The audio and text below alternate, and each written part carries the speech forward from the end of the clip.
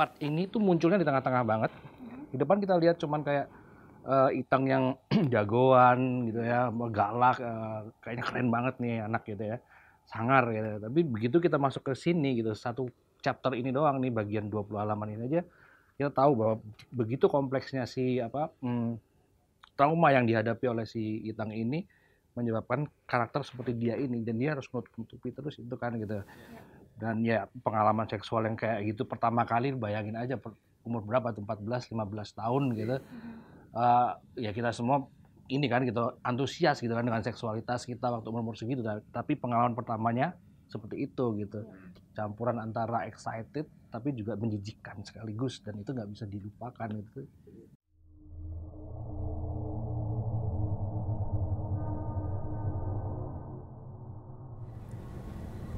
Dengan cepat, kau kini lebih jago dariku. Mereka duduk berdampingan di kursi stadion yang kosong setelah lelah berlari. Sebagai jawabannya, Iteng hanya tersenyum kecil sambil menunduk. Aku akan terus mengingat bagaimana aku menghajarmu dan bagaimana kamu balas menghajarku. Iteng kembali tersenyum kecil. Ia semakin menunduk, mencoba menyembunyikan rona merah di pipinya. Sesuatu seperti mengalir di bawah tubuhnya, di antara pangkal kedua kakinya. Tangan Budi Baik menyentuh tangannya. Ia terkejut dan menarik tangannya, tapi tangan Budi Baik kembali menggapai tangannya, menggenggamnya. Iteng terdiam. Ia merasa sesuatu mengalir lebih deras di antara pangkal kedua kakinya. Ia ingin menarik tangannya, tapi genggaman Budi Baik terasa hangat. Ia bisa melawan semua pukulan tapi ia tak tahu bagaimana melawan genggaman yang hangat. Ia memberanikan diri menoleh, dan saat itu wajah Budi Baik telah berada tepat di hadapannya. Budi Baik mencium bibirnya. Iteng terkejut, ingin mundur. Tapi ciuman itu telah datang kembali, terasa hangat dan ia membiarkannya.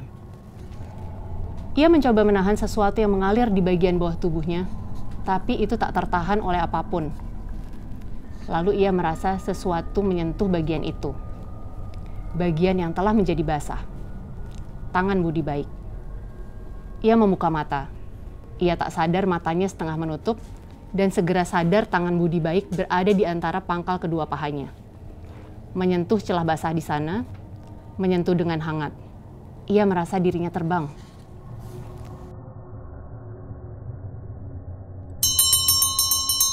Ia berdiri di pintu ruang bimbingan. Pak Toto memandangnya dengan sedikit terkejut. Selama beberapa saat, mereka saling pandang tanpa sepatah kata. Pak Toto yang kemudian membuka mulut. Ah, itu mana saja kamu? Sejak pindah sekolah, kamu tak menemui bapak. Kamu sudah sangat besar sekarang. Iteng tersenyum, malu-malu. Ia masuk dan menutup pintu. Pak Toto memandanginya. Bapak kangen Itang? Tergeragap Pak Toto mengangguk. Tentu saja itu.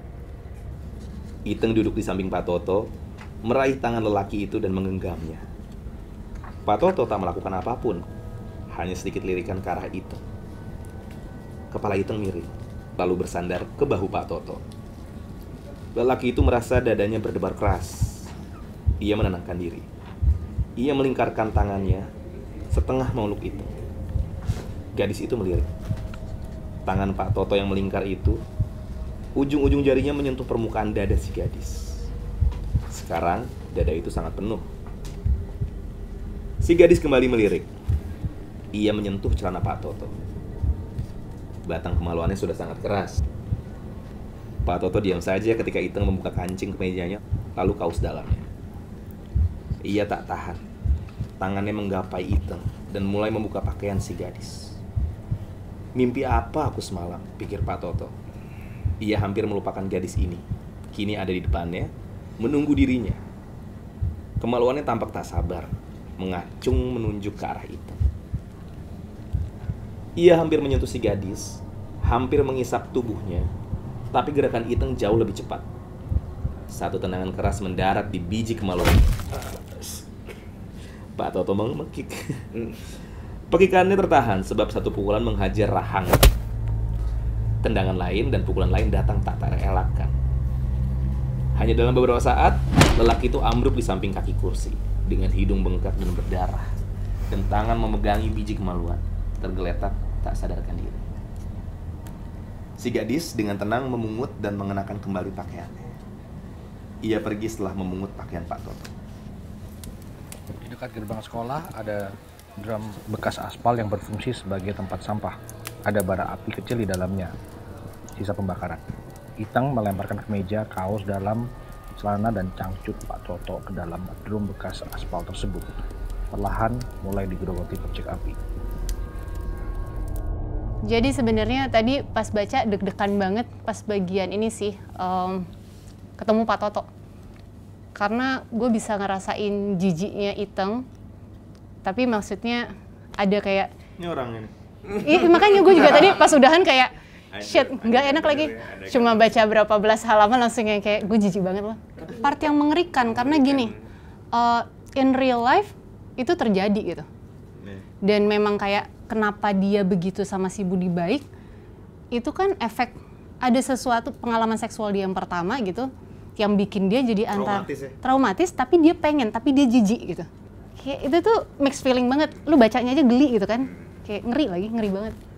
Tapi kompleksnya kompleksnya yang, yang gue lihat di part ketika lu ngomongin masalah Toto sama Budi Baik lu bayangin nggak bahwa hal yang harusnya jadi korban itu malah bisa berlangsung lebih lama dibandingkan hal yang cuma berlangsung dengan yang pelaku Hmm. kayak misalnya gue bisa memposisikan Pak Toto pelaku misalnya Dia lupa. dia pelaku tapi besok bisa dilupain Iya, orang Iya. dia ketemu Ketemu waktu- lagi aja, eh. kok ada ah kebetulan lagi nih Iya, jadi iya. nggak pernah ada hasrat misalnya Pak Toto bakal me- merasakan me- salah iya. ini guilty feelingnya Iya misalnya atau dia bakal mengejar Iteng terus misalnya Iya, atau dia bakal enggak dia cuma melewati itu tapi orang yang bisa menjadi Orang korban itu bisa sekompleks itu ceritanya jatuh Yes. cinta bisa Oh, merasakan bisa gue ya. bisa berantakan Dipegang tangannya malah. jadi yang kayak, eh, ya, deh beda gitu Iya, kan. yes itu kan ada jadi sekompleks itulah cerita kasus eh, dari hati dan itu tadi reaksi dan hati itu emang gila sih Asik. dan 20 halaman ini membuktikan itulah kira-kira seperti itu Iya, iya. kalau menurut gue